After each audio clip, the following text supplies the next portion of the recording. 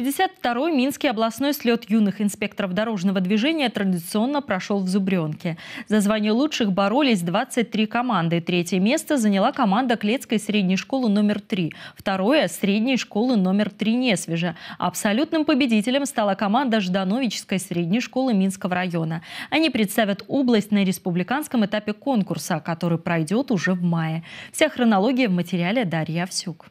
О безопасности с детства уже в 52-й раз Зубренок встретил участников Минского областного слета юных инспекторов дорожного движения. Полвека назад все начиналось с простых конкурсов, а сейчас для ребят подготовлена насыщенная программа, с которой не всегда справится взрослый человек.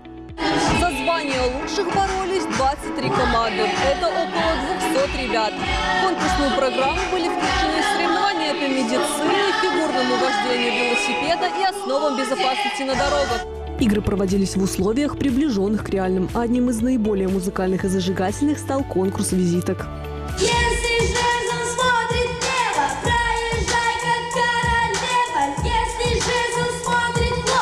Участники также рисовали плакаты социальной рекламы. Условия – изобразить индивидуальный дорожный знак, который можно установить вблизи детского учреждения образования. А новинкой в программе стал конкурс лучших профилактических видеороликов в ТикТок на тему безопасности дорожного движения.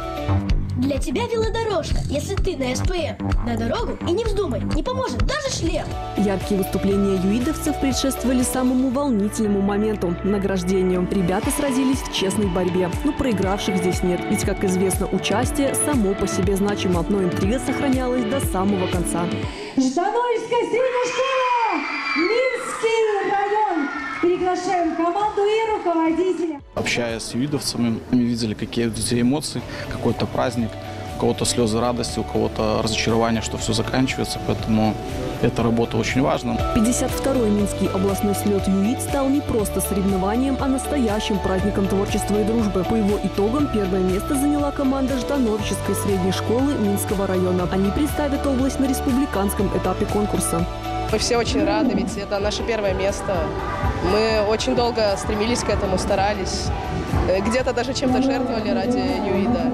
И, конечно же, это результат уборной нашей работы. Это положительные эмоции. Конечно, в какие-то моменты было трудно и переживания, но мы справились. Финал республиканского слета конкурса пройдет в мае. В нем примут участие команды, ставшие победителями по результатам отборочных областных и Минского городского этапов. Дарья Всюк, Евгений Трасько, СТВ.